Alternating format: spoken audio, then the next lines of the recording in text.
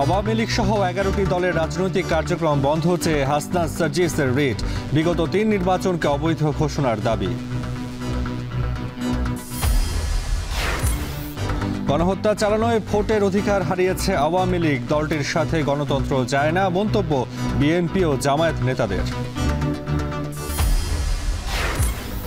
আবু সাইদ হত্যায় রোকেয়া বিশ্ববিদ্যালয়ের দুই শিক্ষক সহ নয় জন সাময়িক বরখাস্ত। শাস্তি পাবে বাহাত্তর শিক্ষার্থী সিন্ডিকেটের সিদ্ধান্ত। সমীক্ষায় দেখানো যানবাহনের সিকিভাগও চলে না, বঙ্গবন্ধু টানেল দিয়ে এক বছরে লোকসান শত কোটি টাকা।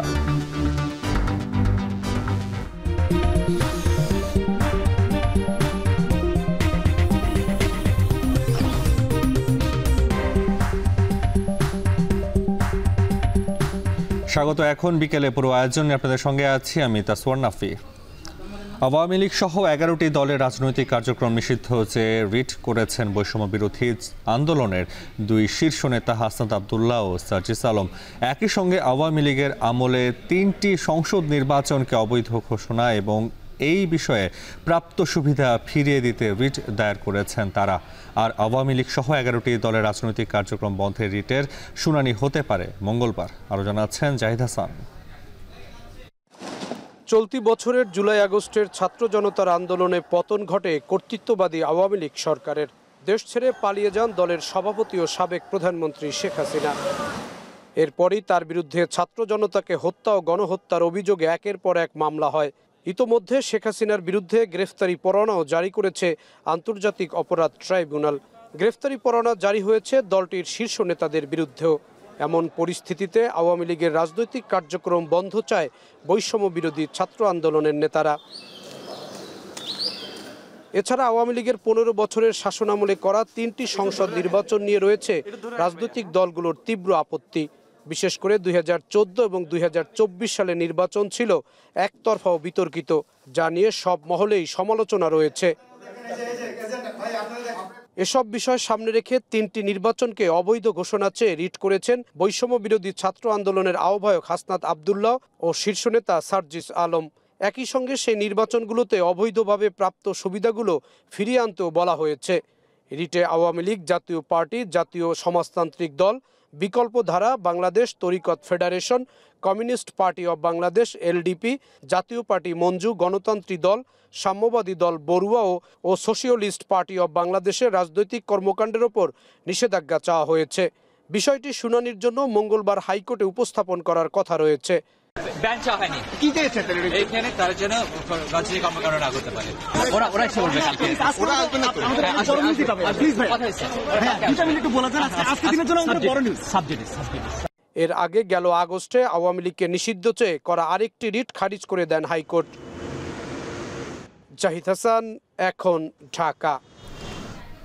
গণহত্যা চালানোয় ভোটের মাঠে ফেরার নৈতিক অধিকার হারিয়েছে আওয়ামী লীগ। আঠারো বছর আগে আওয়ামী লীগের লগি বৈঠা তাণ্ডব নিয়ে রাজধানীতে জামায়াত ইসলামীর আলোচনায় মন্তব্য করেন দলটির আমির, ডাক্তার শফিকুর রহমান। আর বিএনপি নেতারা বলেন, আওয়ামী লীগ আর গণতন্ত্র কখনো পাশাপাশি চলতে পারে না। আজহার লিমনের প্রতিবেদন। প্রায় দুই দশক আগে সংঘাতের যে ঘটনা, দেশের রাজনীতির ইতিহাসের বাক বদল করে দিয়েছিল আজ সেই দিন। রাজনীতির মাঠ দখলের সূত্র ধরে এরপর টানা দেড় দশক ক্ষমতা ধরে রাখে আওয়ামী লীগ এবং রাজনৈতিক সহিংসতার সেই হৃদয়হীন ঘটনার আনুষ্ঠানিক প্রতিবাদ জানানোর ক্ষেত্রেও এটি প্রথম আয়োজন। যখন সময় আসে বাংলাদেশ জামায়াত ইসলামীর ঢাকা মহানগর দক্ষিণ শাখায় আয়োজক যেখানে আমন্ত্রণ পেয়েছেন দুই হাজার ছয়ের আঠাশ অক্টোবর আওয়ামী লীগের কর্মীদের হাতে নিহত শিবির কর্মী হাফেজ গোলাম কিবরিয়ার বাবাও। এবং বস্তুত দুই হাজার ছয়ের আঠাশ অক্টোবরের সংঘাতে সবচেয়ে বেশি নিহত হয়েছিল জামায়াত ইসলামী এবং তাদের সমর্থিত ছাত্র সংগঠন বাংলাদেশ ইসলামী ছাত্র শিবিরের কর্মীরা। সে মানুষকে বুঝাইতে পারতো বাংলা আরবি, উর্দুতে বা এইভাবে সব হাদিস কোরআন দিয়ে বলে, বুঝাইতে পারতো। কিন্তু আমার ছেলে যাওয়ার পড়তো অনেকেই আমাদের এলাকায় আয়া আমাদের বাসায় খুব আফসোস করতো যে, আল্লাহ আমার ছেলেটা, আল্লাহ ব্যস্ত রয়েছে খুব ভালো ছেলে ছিল। প্রতিবাদ সভা নাম দেওয়া হলেও প্রায় দুই দশক আগের নির্মম রাজনৈতিক হত্যাকাণ্ডের এই স্মরণ সভা পরিণত হয়। পতিত আওয়ামী লীগ সরকারের বিরুদ্ধে আন্দোলন করা রাজনৈতিক দলগুলোর মিলন মেলায়। জামাতের ডাকে আসা বিভিন্ন দলের নেতারা এই হত্যাকাণ্ডের বিচার দাবি করেন। কখনো এটা মনে করবেন না যারা পেশিবাদের নতুন রূপ নয়া রূপে আবির্ভূত হওয়ার চেষ্টা করছেন যে ছাত্র সমাজ আপনাদেরকে সুযোগ করে দিবে তারা বসে থাকবে বরং না তারা আগ্নেয়গিরি সুপ্ত লাভার মতো তাদের লাভাগুলোকে উদ্গীরণ করবে। ইসলামী আইন কোরআনী বিধান কিসাসের আইন চালু করা ছাড়া খুনের রাজনীতি কোনোদিন মূল হতে পারে না পারবে না। আজও জানি না সত্যি সত্যি কোথায় যাবে। মাত্র আড়াই মাসের মধ্যে যে প্রচণ্ড সম্ভাবনা তৈরি হয়েছে তার পাশাপাশি প্রশ্ন তৈরি হয়েছে। আমি আশা করি যে কোনো দল যে কোনো মানুষ যে কোনো গোষ্ঠী আন্তরিকভাবে এই সুযোগকে কাজে লাগাবার জন্যে আন্তরিকভাবে চেষ্টা করবেন। খনি হাসিনা থেকে শুরু করে আওয়ামী লীগের প্রত্যেকটা দোসরের বিচার আমরা চাই। হাসিনা ওবায়দুল কাদের থেকে শুরু করে আওয়ামী লীগের প্রত্যেকটা খুনির বিচার আমরা চাই। একই সাথে এই আওয়াজও তুলতে হবে। বিগত তিন তিনটি নির্বাচনে এই আওয়ামী লীগকে যারা বৈধতা দিয়েছে সেই আওয়ামী লীগের দোসরদেরও বিচার চায় আওয়ামী লীগকে কোনো ক্ষমা করা যাবে না। একাত্তরের পরে শেখ মুজিব গণহত্যা চালিয়েছিল। ছিয়ানব্বই দেশে শেখ হাসিনা জনগণের কাছে ক্ষমা চেয়েছিল। জনগণ ক্ষমা করে ভুল করেছিল এবং আমরা দেখলাম চব্বিশ সালে সেই ক্ষমার খেসারত আমাদেরকে দিতে হয়েছে। জামাতের এই আয়োজনের অতিথি সারিতে দেখা যায় বিএনপির দুই শীর্ষ নেতাকেও। তাদের বক্তব্য বিবৃতিতেও ছিল জামাত নেতাদের সঙ্গে জেল জীবনের নানা স্মৃতি। এখানে বিএনপি নেতা আব্দুস সালাম যে কোনো মূল্যে ঐক্য ধরে রাখার কথা বলেন, ইঙ্গিত দেন নির্বাচিত হলে ক্ষমতা ভাগাভাগির। মির্জা আব্বাসের বক্তব্যে উষ্মা ছিল সংস্কারের নানা দাবি নিয়ে। যুদ্ধ অপরাধের দায়ে বিচার হওয়া জামাত নেতাদের প্রতি অন্যায় হয়েছে, মন্তব্য ছিল তাদের বক্তব্যে। ফিরে না আসতে পারে।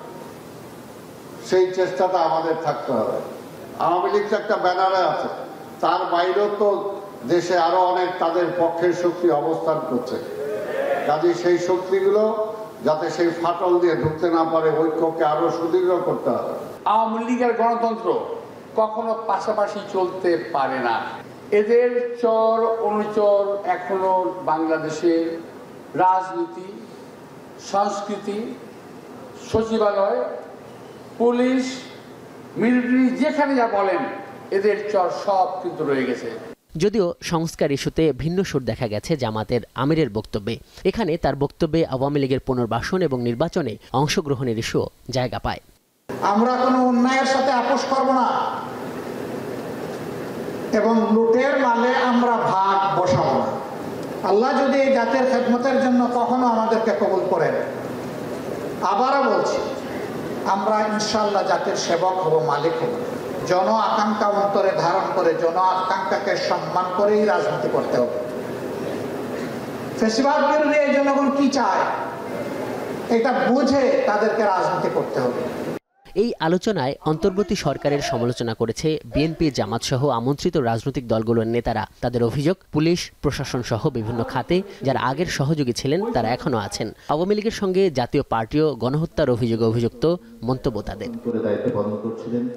আজহার লিমন এখন ঢাকা। রাষ্ট্রপতি পদত্যাগ না করলে জাতীয়ভাবে মহা সংকট তৈরি হবে বলে মন্তব্য করেছেন এবি পার্টির সদস্য সচিব মজিবুর রহমান। মঞ্জু, উচ্চ আদালতের পরামর্শ নিয়ে রাষ্ট্রপতিকে অপসারণ করলে সাংবিধানিক সংকট হবে না বলে মন্তব্য করেন তিনি। আওয়ামী লীগ তার বিগত ষোলো বছরে যখন যা মন চেয়েছে, কোনো পলিটিক্যাল দলকে যে কোনোভাবে শোষণ করার জন্য হোক কিংবা নষ্ট করার জন্য হোক, যে কাজগুলো করেছে বিভিন্ন মিথ্যা প্রপাগান্ডা দিয়ে বা মিথ্যা বিভিন্ন অভিযোগ দিয়ে আমরা সেরকম কোনো কিছুর ভিত্তিতে কখনোই যাব না। আমাদের জায়গা থেকে চিন্তাটি এমন ছিল যে বিগত তিনটি নির্বাচন আওয়ামী লীগ যে করেছে, পুরো বাংলাদেশের মানুষ এ বিষয়ে সাক্ষী দিবে যে প্রত্যেকটি নির্বাচন ছিল প্রহসনের নির্বাচন। যে চুক্তিগুলো হয়েছে, যেগুলো দেশের জন্য ভালো, সেগুলো পুনর বিবেচনা করে এবং যেগুলো দেশের অনেক ক্ষতিকর চুক্তিগুলো হয়েছিল, ইন্ডিয়ার সাথে, বিভিন্ন দেশের সাথে এবং মানি লন্ডারিং এর জায়গা তো অনেকগুলো চুক্তি হয়েছে যেগুলোর মধ্য দিয়ে দেশবাসী কোনো কিছুই জানে না। সেই চুক্তিগুলো নিষিদ্ধ হবে এবং তিনটি নির্বাচনও আমরা নিষিদ্ধের দাবি জানাচ্ছি। এই রাষ্ট্রপতিকে যদি আমরা বিদায় না করি বা তাকে যদি তিনি যদি পদত্যাগ না করেন, এটা আমাদের জাতীয় জীবনের মহাসংকট হিসেবে থাকবে এবং এই বিতর্ক বারবার আমাদের কাছে ফিরে আসবে।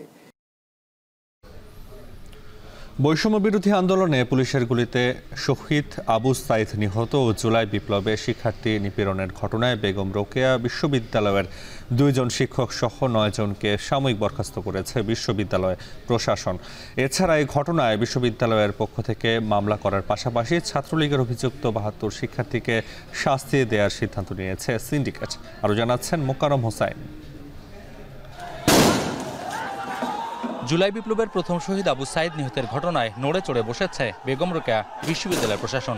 শিক্ষার্থী নিপীড়ন আবু সাইদ হত্যায় জড়িতদের বিরুদ্ধে ঘটনার একশো দিন পর মামলার সিদ্ধান্ত নিয়েছে বিশ্ববিদ্যালয় কর্তৃপক্ষ। বিশ্ববিদ্যালয় কর্তৃপক্ষ জানিয়েছে, আবু সাইদ হত্যায় অভিযুক্ত গণিত বিভাগের শিক্ষক ও বঙ্গবন্ধু পরিষদের সাধারণ সম্পাদক মশিউর রহমান ও লোক প্রশাসনের শিক্ষক আসাদুজ্জামানকে বরখাস্তের সিদ্ধান্ত হয়েছে সিন্ডিকেট সভায়। একাডেমিক শৃঙ্খলার তত্ত্বাবধান ও নিয়ন্ত্রণ করার লক্ষ্যে বেগম রোকেয়া বিশ্ববিদ্যালয় ক্যাম্পাসে চাঁদাবাজি, টেন্ডারবাজি, হলের সিট বাণিজ্য, হল দখলকারী, লেজুর ব্যক্তি রাজনীতি বন্ধ থাকবে। দুইজন শিক্ষক, একজন হচ্ছে লোক প্রশাসন বিভাগের আর একজন হচ্ছে গণিত ডিপার্টমেন্টের। কর্মচারী আছে সাতজন, কর্মচারী কর্মকর্তা মিলিয়া, সাতজন। এদেরকে সাময়িক বহিষ্কার। এছাড়াও বরখাস্ত হচ্ছেন সাতজন কর্মকর্তা ও কর্মচারী। অভিযুক্তদের বিরুদ্ধে আদালতে মামলা করার কথাও জানিয়েছে বেরবি উপাচার্য। যে সকল কর্মকর্তা, কর্মচারী, শিক্ষক জড়িত ছিলেন তাদের বিরুদ্ধে মামলা রুজু করার সিদ্ধান্ত হয়েছে। বিশ্ববিদ্যালয় প্রশাসনের পক্ষ থেকে আমরা অতি শীঘ্রই মামলা রুজু করব। একই সঙ্গে শিক্ষার্থীদের আবেদনের প্রেক্ষিতে ক্যাম্পাসে লেজুর ভিত্তিক ছাত্র রাজনীতি নিষিদ্ধ করেছে কর্তৃপক্ষ। সিদ্ধান্ত হয়েছে, কোনো শিক্ষক কিংবা কর্মচারী সদস্য হতে পারবেন না কোনো রাজনৈতিক দলের।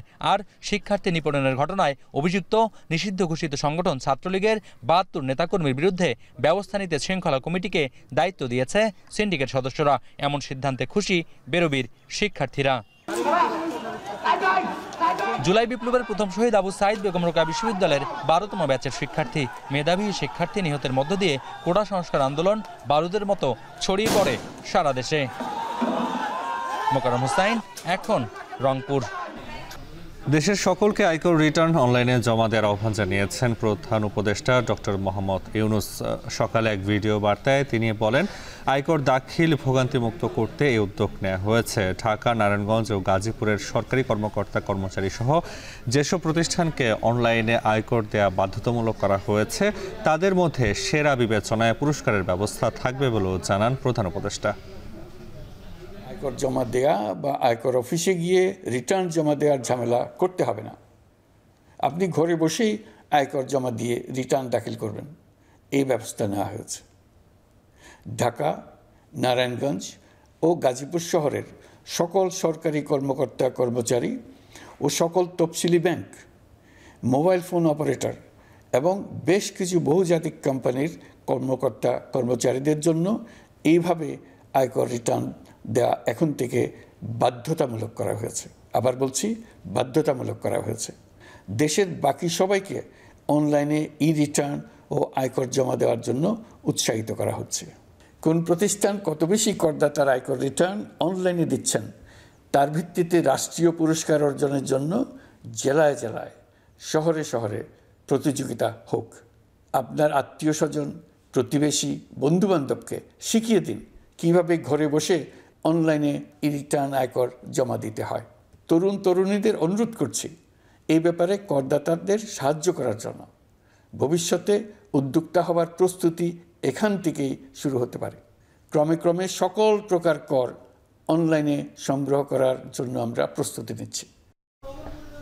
অন্তর্বর্তী সরকারের প্রধান উপদেষ্টা ডক্টর মোহাম্মদ ইউনুসের সাথে সৌজন্য সাক্ষাৎ করেছেন বাংলাদেশে নিযুক্ত সৌদি আরবের রাষ্ট্রদূত ইউসেফ ইসা আল দুহাইলান সকালে প্রধান উপদেষ্টার তেজগাঁও কার্যালয়ে তারা এ সৌজন্য সাক্ষাৎ করেন। সৌজন্য সাক্ষাতের সময় দুই দেশের বিভিন্ন দ্বিপাক্ষিক বিষয়ে নিয়ে আলোচনা করেন প্রধান উপদেষ্টা ও সৌদি রাষ্ট্রদূত।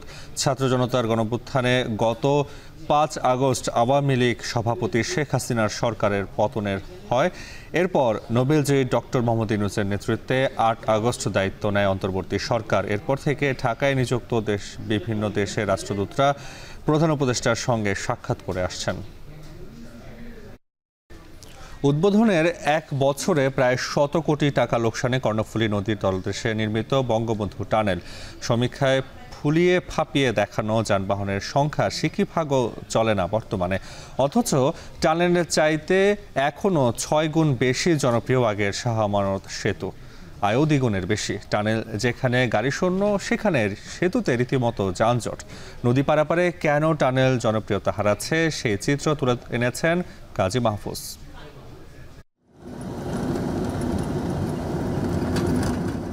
দু হাজার তেইশ সালের আঠাশ অক্টোবর।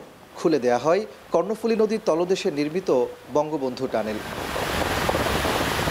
আশা করা হয়েছিল প্রায় এগারো হাজার কোটি টাকার এ টানেল পাল্টে দেবে দক্ষিণ চট্টগ্রামের অর্থনীতির চিত্র। গড়ে উঠবে ওয়ান সিটি, টু টাউন। কিন্তু ঠিক এক বছর পর সে প্রত্যাশা আর প্রাপ্তিতে অনেক তফাত। যে সংখ্যক গাড়ি চলাচলের কথা বলা হয়েছিল, তার সিকিভাগও এখন চলছে না। দর্শক, এ হচ্ছে কর্ণফুলী টানেলের টোল প্লাজার স্বাভাবিক সময়ের দৃশ্য। একেবারেই যানবাহন শূন্য। টানেল নির্মাণের আগে সমীক্ষায় দাবি করা হয়েছিল, এই টানেলের প্রথম বছরে প্রতিদিন গড়ে সতেরো হাজারের বেশি যান চলাচল করবে। তবে বর্তমানে সেতু কর্তৃপক্ষের তথ্য বলছে, প্রতিদিন গড়ে এই টানেল দিয়ে যান চলাচল করছে চার হাজারের মতো, যা লক্ষ্যমাত্রার মাত্র চব্বিশ শতাংশ। সেতু কর্তৃপক্ষের তথ্য মতে, বর্তমানে টানেল থেকে দৈনিক গড়ে টোল আদায় বারো লাখ টাকা, যেখানে টোল আদায় ও রক্ষণাবেক্ষণ বাবদ দিনে গড় ব্যয় সাড়ে সাঁত্রিশ লাখ টাকা। অর্থাৎ বছরে আয় তেতাল্লিশ কোটি আর ব্যয় একশো পঁয়ত্রিশ কোটি টাকা। সেই হিসেবে গত এক বছরে লোকসান তিরানব্বই কোটি টাকার মতো। ঋণের টাকায় নির্মিত টানেল ঘিরে দক্ষিণ চট্টগ্রাম তথা আনোয়ারা কর্ণফুলীতে এক বছরেও কোনো শিল্প উন্নয়ন হয়নি। বর্তমানে কিছু লোকাল বাস, বিনোদনের জন্য ব্যক্তিগত গাড়ি আর হাতে গোনা কিছু পণ্য পরিবহন হয় টানেল দিয়ে। বিশেষজ্ঞরা বলছেন, শিগগিরই পর্যটন শহর কক্সবাজার পর্যন্ত সড়ক না হলে আগামীতে এই টানেল বড় বোঝা হয়ে দাঁড়াবে। এটা আমার মনে হয় যত না অর্থনৈতিকভাবে আপনার চিন্তা করা হয়েছে এর থেকে বেশি পলিটিক্যালি আপনার এটাকে হাইলাইট করার জন্য এবং রাজনৈতিক ফায়দা হাসিল করার জন্য এটা করা হয়েছে। কোনো একটা ইন্ডাস্ট্রি যদি এখানে না করে কর্মসংস্থান সৃষ্টি না করে তাহলে এটা তো অনেক loss one city two town কি টানেল হলেই হয়? টানেল হবার আগে হয়নি ওয়ান সিটি টু টাউন নদীর দক্ষিণ পারে কোনো উন্নয়ন হয়নি কোনো ইন্ডাস্ট্রি হয়নি কিছুই হয়নি।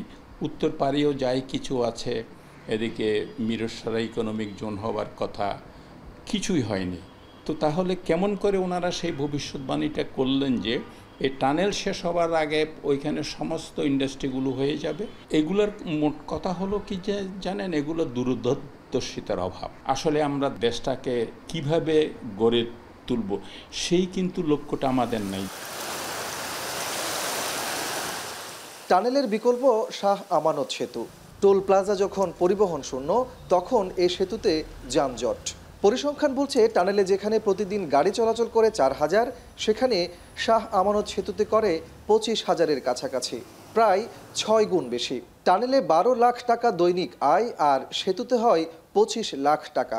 আমাদের এখানে সব থেকে বেশি যানবাহন রেগুলার ট্রানজ্যাকশন ওয়াইজ সব থেকে বেশি যানবাহন থ্রি হুইলার থ্রি হুইলার তারপরে আছে হচ্ছে মিনি বাস পর্যটনের যে বড় বাসগুলো আমাদের এই দিক থেকে যেগুলো পার হইতো, সেগুলো এখন ওই দিক থেকে যাচ্ছে। সেটা থাকলে হয়তো আমাদের রেভিনিউ আরও বেশি হইতো। প্রশ্ন হচ্ছে, কেন টানেলের বদলে সেতু এত জনপ্রিয়? চালক ও যাত্রীরা বলছেন, টানেলের টোলহার আড়াই থেকে ছয় গুণ পর্যন্ত বেশি। টোলহারের এ পার্থক্যই টানেলে যানবাহনের সংখ্যা বাড়ার ক্ষেত্রে চ্যালেঞ্জ তৈরি করেছে। এছাড়া, টানেলের মুখ থেকে শহর পর্যন্ত স্বল্প মূল্যের কোনো গণপরিবহন চালু হয়নি এক বছরেও। আপনার এই দিক থেকে সুবিধা হইলে আমার দুইশো টাকার টুল কম। আর অনেক জামিলা আছে ওইদিকে ওই জামিলাটা এদিকে নাই ওই সেন্সারের ভিতর দিকে যাওয়া লাগে। শহর দিয়ে অনেক জামজট তারপরে আমরা এখন এদিক দিয়ে যাইতে বাধ্য কারণ আমরা বন্দরে ঢুকতে হবে। টানেল দিয়ে তো যাওয়ার তো ইচ্ছে থাকে। থাকলে কি করব ডেরেন তো ফারে দিতে না। এরা আবার ফেরেক ফেরেক ফেড়ে আমাদের। তবে এখনও এ জনপদের মানুষের কাছে নদী পারাপারের সবচেয়ে জনপ্রিয় মাধ্যম হাজার বছর ধরে চলে আসা সাম্পান। মাত্র পনেরো টাকায় নদী পারাপার করা যায় বলে কর্মজীবী মানুষ, শিক্ষার্থী কিংবা নিম্ন মানুষের ভরসা নদীপথ। বলা যায়, হাজার কোটি টাকার আলো ঝলমলে টানেল কিংবা আধুনিক দৃষ্টিনন্দন সেতুর চাইতে সস্তায় নদী পারাপারকে বেছে নিয়েছে এখানকার মানুষ। কাজী মাহফুজ, এখন চট্টগ্রাম। নির্বাচনে জিতলে অভিবাসী তাড়াতে চান ট্রাম্প জেনজিদের সমর্থন পেতে মরিয়া কামালা, ভোটে গুরুত্ব বাড়ছে বাংলাদেশিদেরও You're fired. Get out. Get out. You're fired.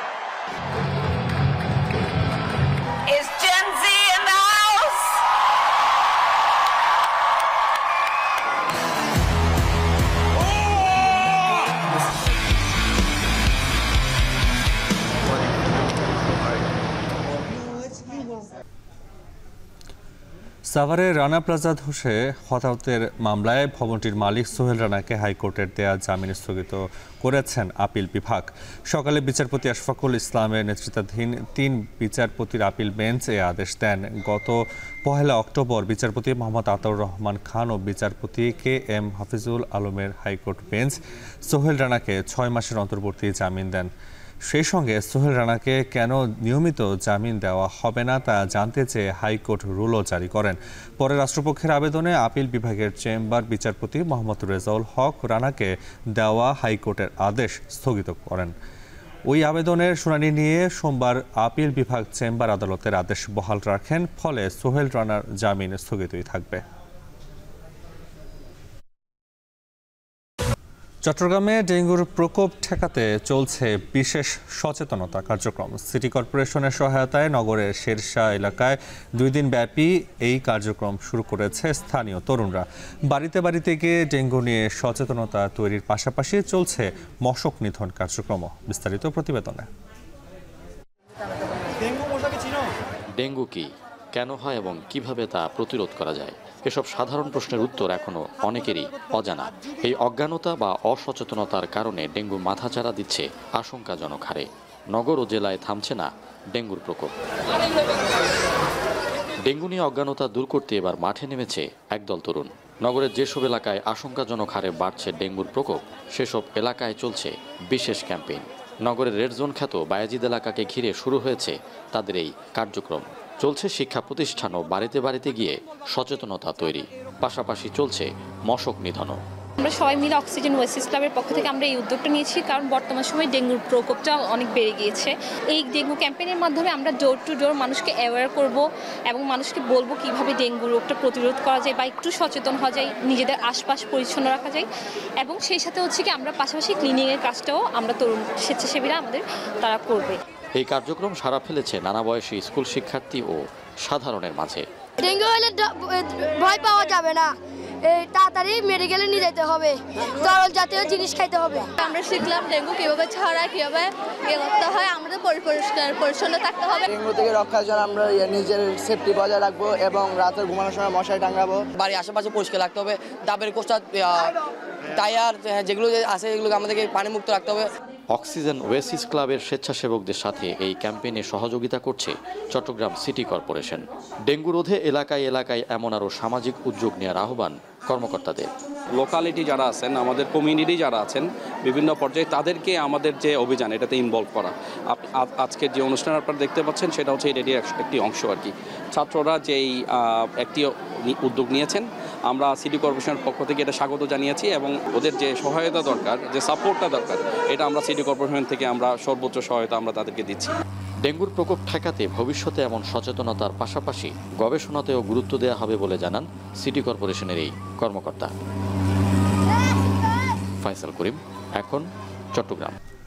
অর্থ সংকটে আশুগঞ্জ গত এক মাস ধরে বন্ধ স্টিল রাইস সাইলোর কার্যক্রম। কারণ অর্থ ছাড় পাচ্ছে না ঠিকাদারি প্রতিষ্ঠান। এ অবস্থায় প্রকল্পের মেয়াদ আরও ছয় মাস বাড়ানোর দাবি প্রতিষ্ঠানটির। শিগগিরই অর্থনৈতিক জটিলতা কাটিয়ে প্রকল্পের কাজ আবারও শুরু করার কথা বলছে কর্তৃপক্ষ।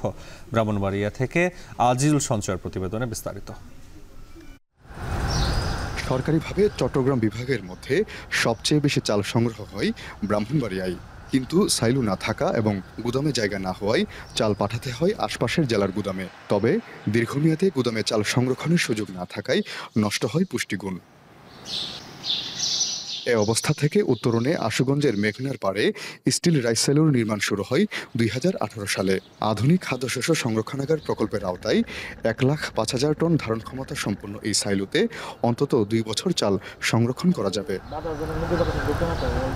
তবে করোনা মহামারীর কারণে প্রকল্পে অগ্রগতি না হওয়ায় চার দফায় বাড়ানো হয় প্রকল্পের মেয়াদ। সাইলুর সবকটি বিন স্থাপন শেষ হলেও বাকি আছে যেটি টপ সাইলু স্টিল স্ট্রাকচার, অভ্যন্তরীণ সড়ক, বাল্ক ট্রাক রিসিভিং অবকাঠামো ও ট্রাক ইয়ার্ডের নির্মাণ কাজ, যা শেষ করতে আরও ছয় মাস সময় চাই ঠিকাদারি প্রতিষ্ঠান। মূলত অর্থনৈতিক জটিলতায় ধুঁকছে সাইলু প্রকল্পটি। এছাড়া সরকার পরিবর্তনের পর সংকটে পড়েছে বাস্তবায়নকারী ঠিকাদারি প্রতিষ্ঠান তমা কনস্ট্রাকশন অ্যান্ড কোম্পানি লিমিটেডও। ফলে অক্টোবর থেকে বন্ধ রয়েছে নির্মাণ কাজ। সরকারি বিভিন্ন ইস্যুর কারণে পিডি চেঞ্জ হয়ে গেছে আমাদের মাঝখানে। এই কারণে আমাদের বিলগুলো পেন্ডিং থাকার কারণে আমাদের ফিনান্সিয়াল ক্রাইসিস শুরু হয়ে যায়। আর বিগত সময়েও আমাদের কিছু ফিনান্সিয়াল ক্রাইসিস ছিল। মূলত এই কারণে কাজটা ফুল ফ্লোতে শুরু হওয়ার শুরু হওয়ার পরও আমাদের আবার কাজটা ডিলে হয়ে যায় মূলত সরকার চেঞ্জ হওয়ার কারণে। তবে কাজ এগিয়ে নিতে সংশ্লিষ্ট মন্ত্রণালয়কে অবহিত করার কথা জানিয়েছেন উপজেলা নির্বাহী কর্মকর্তা। যে ধরনের ব্যারিয়ারগুলি রয়েছে সেগুলো যাতে খুব তাড়াতাড়ি সমাধান করা হয় এই বিষয়ে আমরা ঊর্ধ্বতন কর্তৃপক্ষের দৃষ্টি আকর্ষণ করেছি। আমার মনে হয় এটার সাথে সংশ্লিষ্ট যারা রয়েছেন তারা এই বিষয়টি অধিকতর নজর দেবেন এবং এই বিষয়ে প্রয়োজনীয় পদক্ষেপ গ্রহণ করবেন। আধুনিক সাইলো নির্মাণে ব্যয় হচ্ছে পাঁচশো চল্লিশ কোটি পঁয়তাল্লিশ লাখ টাকা। প্রকল্পে অর্থায়ন করছে বিশ্বব্যাংক আর প্রকল্পের সার্বিক অগ্রগতি প্রায় আটাত্তর শতাংশ। আজিজুল সঞ্চয়, এখন ব্রাহ্মণবাড়িয়া। এবার আন্তর্জাতিক প্রসঙ্গ, নির্বাচনে জিতলে ক্ষমতার প্রথম দিন থেকে যুক্তরাষ্ট্রের ইতিহাসের সবচেয়ে বড় অভিবাসী তাড়ানো কর্মসূচি শুরু করবেন ডোনাল্ড ট্রাম্প। রোববার নিউ ইয়র্কে এক জনসমাবেশে এই ঘোষণা দেন সাবেক মার্কিন প্রেসিডেন্ট। অন্যদিকে নির্বাচনের আগে শেষ মুহূর্তে জেনজিদের সমর্থন নিশ্চিতে তৎপরতা বাড়িয়েছেন ভাইস প্রেসিডেন্ট কামালা হ্যারিস। বিস্তারিত জানাচ্ছেন নুজাত কামাল। যুক্তরাষ্ট্রে শেষবার উনিশশো চুরাশি সালে কোনো রিপাবলিকান প্রেসিডেন্ট প্রার্থীকে সমর্থন জানিয়েছিল সবচেয়ে ঘনবসতিপূর্ণ নিউ ইয়র্ক। চল্লিশ বছর পর হয়তো দৃশ্যপট উল্টে দেবার জেদ থেকেই প্রচারের শেষ দিকে এসে একত্রিশ লাখ অভিবাসীর এ শহরে দাঁড়িয়েই একের পর এক জাতিবিদ্বেষী আর অশ্লীল শব্দ মানে বিরোধীদের আক্রমণ করে গেলেন ডোনাল্ড ট্রাম্প আর তার পক্ষে প্রচারে অংশ নেয়া অন্তত বিশ অতিথি।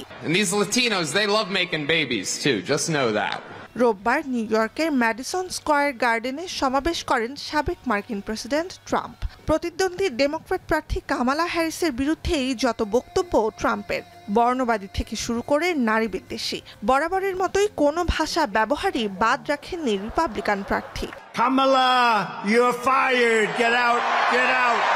You're fired.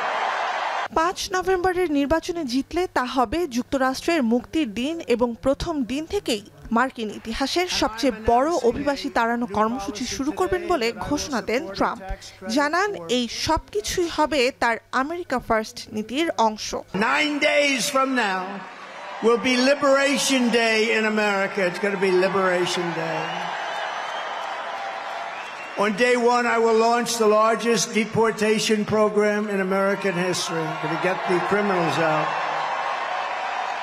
I will rescue every city and town that has been invaded and conquered, and we will put these vicious and bloodthirsty criminals in jail. Going to kick them the hell out of our country as fast as possible. বিপরীতে এদিন নতুন ও তরুণ ভোটারদের সমর্থন আদায়ে তৎপর ছিলেন Kamala Harris. সবচেয়ে বেশি ইলেকটোরাল ভোট আসবে যে দোদুল্যমান সুইং স্টেটটি থেকে, অর্থাৎ রিপাবলিকান বা ডেমোক্র্যাটদের প্রতি সমর্থন সুনির্দিষ্ট নয়, সেই পেনসিলভেনিয়ায় সমাবেশ করেন মার্কিন ভাইস প্রেসিডেন্ট। জলবায়ু পরিবর্তন, আগ্নেয়াস্ত্রের অপব্যবহার, নারীদের গর্ভপাতের অধিকার সহ নানা ইস্যুতে তরুণদের সমর্থন চান তিনি।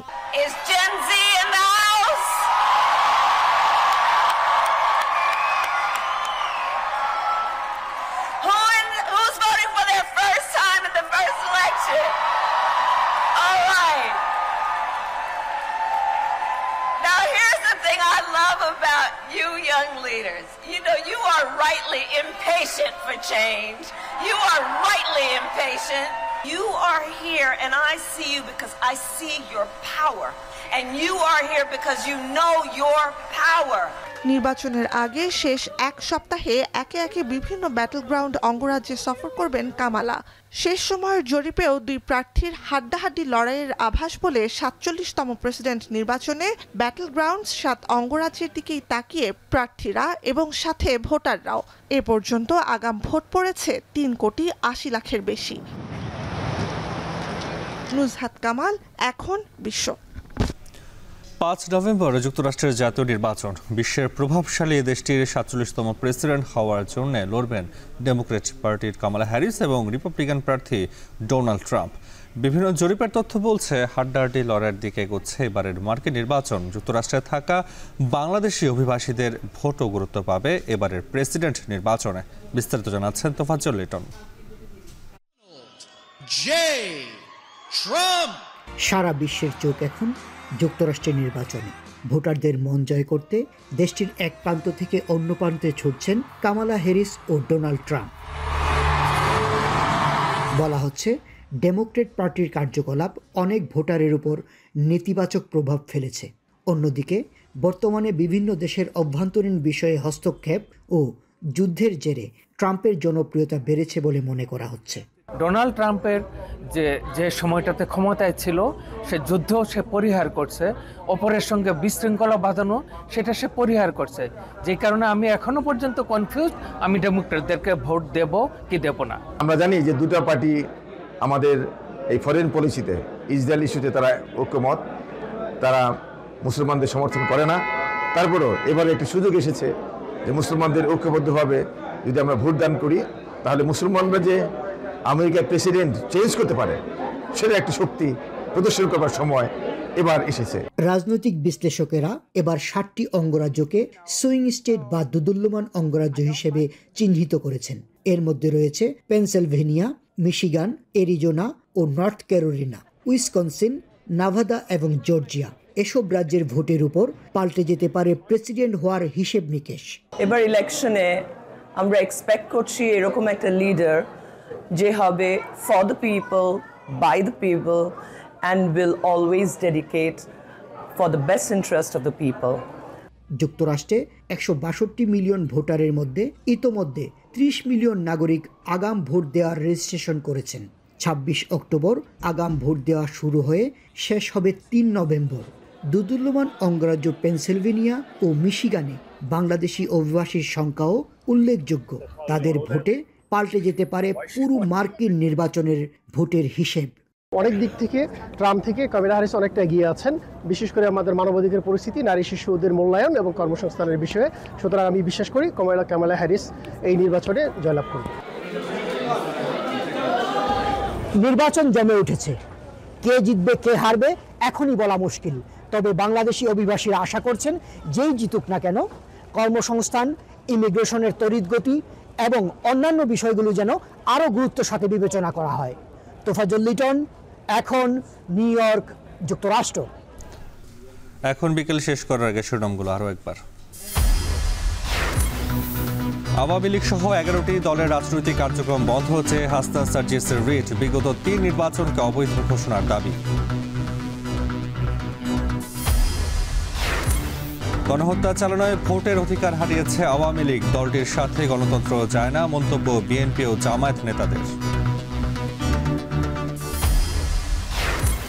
আবু সাইদ হত্যায় রোকেয়া বিশ্ববিদ্যালয়ের দুই শিক্ষক সহ নয় জন সাময়িক বরখাস্ত। শাস্তি পাবে বাহাত্তর শিক্ষার্থী, সিন্ডিকেটের সিদ্ধান্ত। সমীক্ষায় দেখানো যানবাহনের সিকি ভাগত চলে না, বঙ্গবন্ধু টানেল দিয়ে এক বছরে লোকসান শত কোটি টাকা।